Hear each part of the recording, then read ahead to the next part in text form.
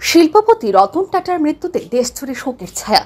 বুধবার গভীর রাতে মুম্বাইয়ের ব্রিজ ক্যান্ডি হাসপাতালে শেষ নিঃশ্বাস ত্যাগ করেন রতন টাটা।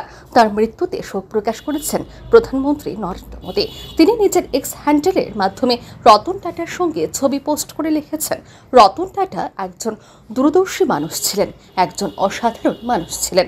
তার নম্রতা এবং আমাদের সমাজের উন্নতিতে তার ভূমিকার জন্য রতন টাটাকে মনে রাখবে সবাই। রতন টাটার মৃত্যুতে শোক প্রকাশ করেছেন প্রতিরক্ষা মন্ত্রী রাজনাথ সিং। তিনি বলেন যে, রতন টাটা ছিলেন ভারতীয় শিল্পের এক বিশিষ্ট ব্যক্তিত্ব। তার মৃত্যুতে আমি শোকাহত। শোক প্রকাশ করেছেন কংগ্রেস সাংসদ রাহুল গান্ধীও। তিনি লিখেছেন, ব্যবসার জগতে এক ছাপ ফেলেছেন তিনি। রতন টাটার মৃত্যুতে শোক প্রকাশ করেছেন শিল্পপতি আনন্দ মাহিন্দ্রাও। তিনি লিখেছেন, রতন টাটার অনুপস্থিতি আমি মেনে নিতে পারছি না। ভারতের অর্থনীতি যেখানে দাঁড়িয়ে আছে, সেই অবস্থান ধরে রাখতে অনেক অবদান রেখেছেন Ratan Tata. report are in news.